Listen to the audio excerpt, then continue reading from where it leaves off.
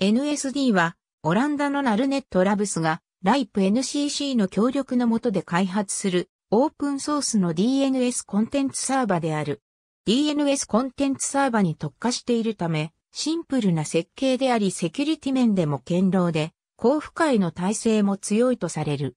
キャッシュやリゾルバとしての機能を持たず、権威を持たないゾーンへの問い合わせに対しては、サーブフェールを返す。バインドと同じスタイルのゾーンファイルを用いて設定することができる。また NSD 上で使用できるゾーンファイルはそのままバインドでも用いることができる。RFC に準拠し、不要な機能を極力搭載しない方針で開発されているものの NSD4.10 にて DNS ラウンドロビンに対応するなどの柔軟さも見られる。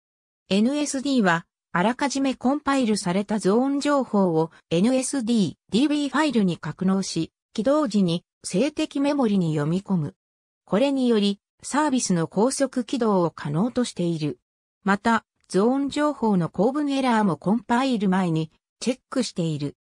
NSD を構成するプログラムやプロセスは、クルートによって非特権ユーザーとして実行できるよう構成されているため、仮に NSD 自体にセキュリティ上の欠陥が発覚したとしてもサーバが乗っ取られるなどの被害を招く可能性は低いとされる。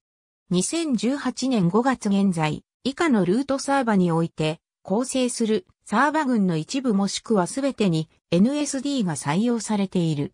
このほか、いくつかの TLD においても採用例が見られる。ありがとうございます。